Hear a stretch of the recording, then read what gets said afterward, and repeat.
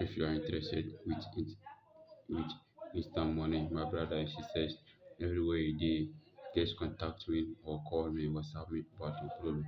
I will help you.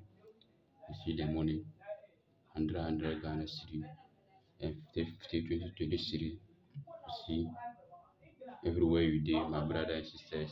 if you are need any interest, if you are if you are interested with